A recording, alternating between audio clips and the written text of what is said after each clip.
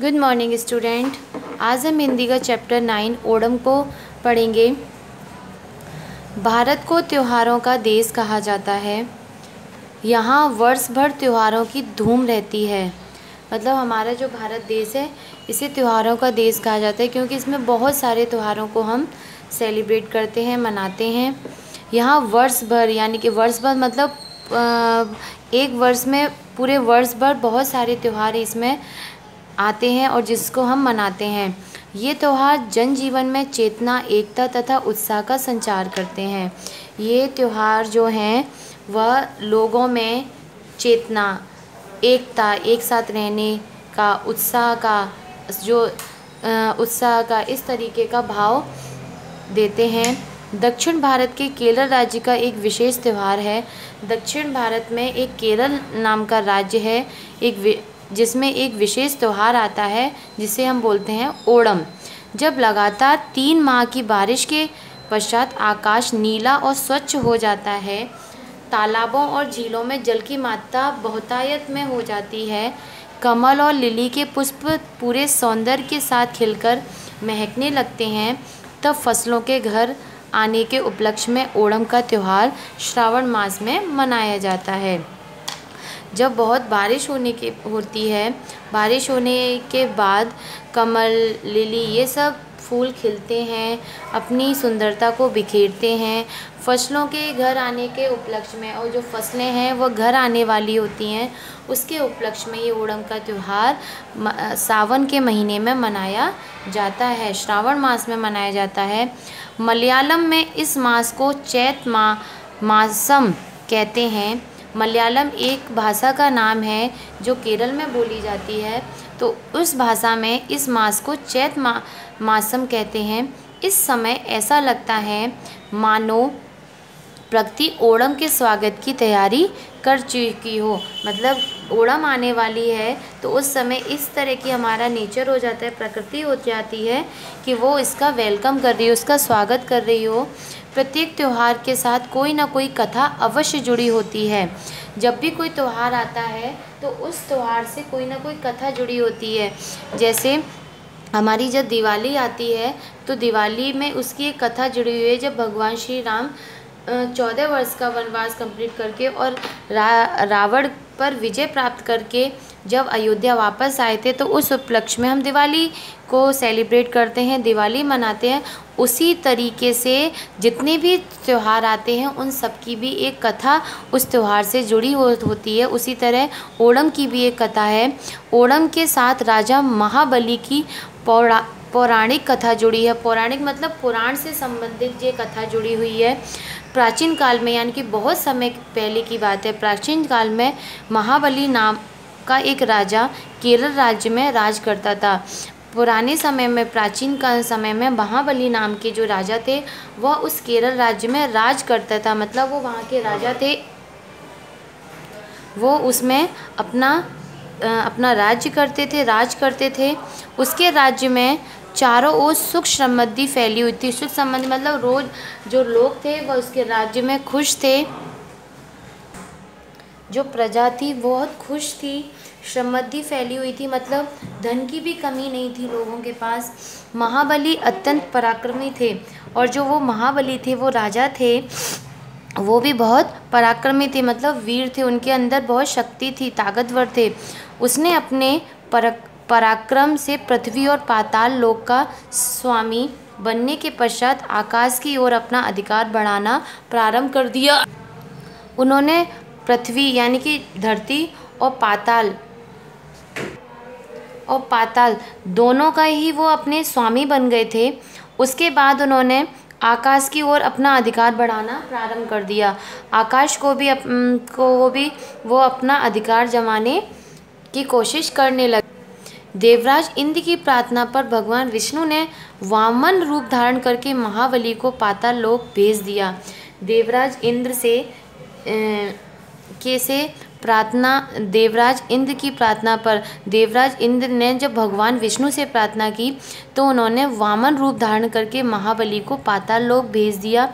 राजा महाबली की प्रार्थना से प्रसन्न होकर भगवान विष्णु ने उन्हें वर्ष में एक बार पृथ्वी पर अपने राज्य में आने का आशीर्वाद दिया। तो केरल वासियों का दृढ़ विश्वास है कि प्रत्येक वर्ष राजा महाबली तिरुओणम के दिन अपने राज्य में आते हैं। इस दिन महिलाएँ उनके स्वागत में अपने घरों के प्रवेश द्वार को विभिन्न प्रकार से सजाती हैं और रात्रि में दीप जलाती हैं। ओणम आनंद और उल्लास का पर्व है। ओणम है वो आनंद इंजॉय आनंद और उल्लास का पर्व है। यह पाँच दिनों तक मनाया जाता है। पहले दिन घर की लिपाई, पुताई तथा पास पड़ोस को स्वच्छ किया जाता है। सब घरों के आँगन रंग बिरंगे फूलों से बनी रंगोली से सजाए जाते हैं, जिसे पुक्कलम कहते हैं। इसकी सजावट में परिवार के बच्चे, बूढ़े सभी उत्साहपूर्वक योगदान देते हैं मतलब उनकी सहायता करते हैं। जब ये सजावट होती है तो बच्चे भी उनकी सहायता करते हैं सजावट में, बूढ़े भी सहायता करते हैं। घर के सभी मेंबर मिलके अपने घर की सजावट करते हैं। विष्णु और महाबली की मूर्तियों को रखकर दीप पूजन किया जाता है। विष्णु भगवान की भी मूर्ति रखी जाती है और जो वहाँ के महाबली थे, उनकी भी मूर्ति को रखकर उनका दीप पूजन, दीप जलाया जाता है, पूजन किया जाता है। ओणम का दूसरा दिन सर्वाधिक महत्वपूर्ण होता है। ओणम का जो सेकंड डे होता है, दूसरा दिन होता है, वो बहुत ही महत्वपूर्ण होता है। किस तरीके से? इसे तिरु ओणम कहते हैं। तिरु ओणम पारिवारिक जनों के मिलन, पारस्परिक प्रेम व संयोग का पर्व है। इस दिन बाहर गए लोग वापस लौट आते हैं तथा मिलजुल कर त्यौहार मनाते हैं। जो भी लोग अपने घर से बाहर गए होते हैं, वो इस दिन अपने घर वापस आते हैं और अपनी फैमिली और अपने परिवार के साथ ये त्यौहार को मनाते हैं। सभी नए कपड़े पहनते हैं। इस इस दिन सब लोग नए कपड़े पहनते हैं। दोपहर के समय सब केले के पत्तों पर भोजन करते हैं। यहाँ केले के पत्ते पर भोजन करना पवित्र माना जाता है। ओणम के दिन भोजन में विभिन्न प्रकार के व्यंजन और पकवान तैयार होते हैं। इनमें चावल, दाल, पापड़, सांभर, खिचड़ी, उत्पपरी, यानी कि पकौड़ी, पायसम मतलब खीर आदि मुख्य है। धान, नारियल और केला केरल की मुख्य फ़सलें हैं। केरल की मुख्य फ़सलें कौन सी हैं? धान, नारियल और केला। यहाँ के विविध पकवान और व्यंजन इसी से बनाए जाते हैं। ओणम के दिन खेल और मनोरंजन के अनेक कार्यक्रम आयोजित किए जाते हैं। बालिकाएँ एवं स्त्रियाँ समूह में नृत्य करती हैं। जो छोटी बच्चियाँ होती हैं और जो लेडीज़ें होती हैं, वह ग्रुप डांस करती हैं, एक साथ मिलकर नृत्य करती हैं, डांस करती हैं। गाँव व नगरों में अनेक प्रकार की खेल प्रतियोगिताएँ आयोजित की जाती हैं। गाँव में, शहरों में, नगरों में अलग अलग तरह के खेल की प्रतियोगिताएँ आयोजित की जाती हैं। कंपटीशन होते हैं खेलों के, जिनमें नौका दौड़ सर्वाधिक लोकप्रिय है। इसमें नौका दौड़ है वो सर्वाधिक लोकप्रिय है। यह बार भूता नामक स्थान पर होती है, वहाँ का एक स्थान है बार भूता नामक स्थान, वहाँ पर ये होती है। दूर दूर से सर्पाकार नौकाएँ पंपा नदी के तट पर लाई जाती हैं। सबसे पहले नौकाओं की पूजा होती है। इस सर्प नौका दौड़ के लिए ग्रामवासी वर्ष भर नौकाएँ तैयार करते हैं। प्रत्येक गाँव के लोग अलग अलग अपनी अपनी नौका लेकर आते हैं। गाँव के सभी वर्गों के लोग अपनी नौकाओं में गर्व के साथ बैठते हैं। परंपरागत, यानी कि परंपरा के अनुसार, जैसे पुराने समय से जो परंपरा चली आती है, उसी के अनुसार पोशाकें पहने, नौका गीत गाते हुए लोग अपने चप्पू को मतलब जिससे नाव चलाई जाती है, को एक विशेष ताल के साथ चलाते हैं। दौड़ में विजेता टीम को पुरस्कृत किया जाता है, जो टीम आग मतलब जिस, जो टीम आगे निकल जाती है, उसको पुरस्कृत किया जाता है। नौका दौड़ को देखने के लिए देश विदेश से बड़ी संख्या में पर्यटक आते हैं। दूर दूर से लोग आते हैं।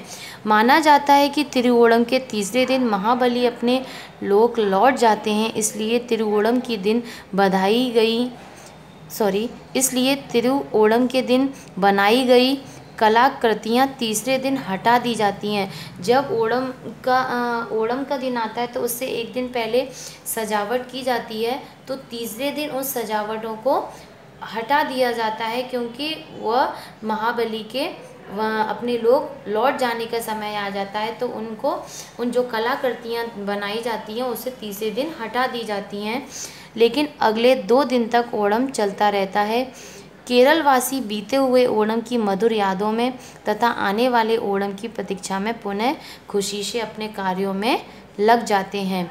तो ये चैप्टर हमारा यहाँ पर फिनिश होता है। इसका जो एक्सरसाइज वर्क है, वो मैं आपको सेंड कर दूँगी। टेक्स्ट बुक का कार्य आपको टेक्स्ट बुक में करना है और नोटबुक का कार्य आपको नोटबुक में करना है। Thank you